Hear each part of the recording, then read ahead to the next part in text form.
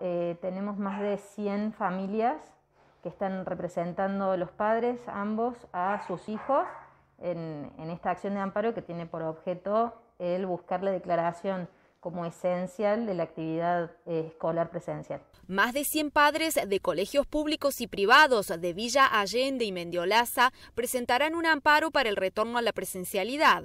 Además, anticiparon que este jueves la Asociación Padres Organizados será recibida por el ministro de Educación, Walter Graovac. Entendemos que eh, el derecho a la educación presencial es de regambre constitucional y que involucra también el derecho a la salud por la salud psíquica de todos los niños, niñas y adolescentes de nuestra zona.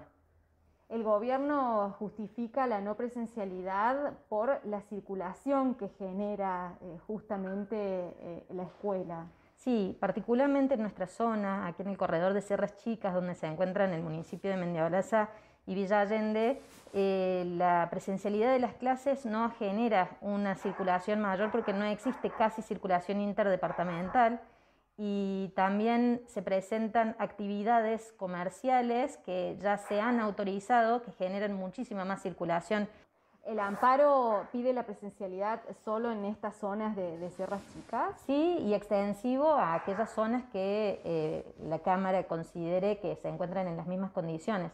Nosotros entendemos que las escuelas deben volver a la presencialidad en toda la provincia de Córdoba, pero focalizamos puntualmente el caso de Mendiola y Allende, que no presentan ni riesgos epidemiológicos porque no subieron los casos en razón de la actividad escolar ni existen registros de ello, y eh, por la, digamos, la ausencia de circulación masiva en ocasión de las clases. ¿Han buscado apoyo por parte de los directivos de las escuelas y también de los docentes? Entendemos que los colegios se encuentran en una situación bastante apremiante. Ellos han presentado a través de la Cámara de Colegios Privados una nota al ministro y de hecho mañana existe una reunión de padres organizados con el ministro de Educación Em, lo cual resulta interesante y también demuestra que eh, estas, estas acciones que realizamos los padres están siendo escuchadas por, por el gobierno de la provincia.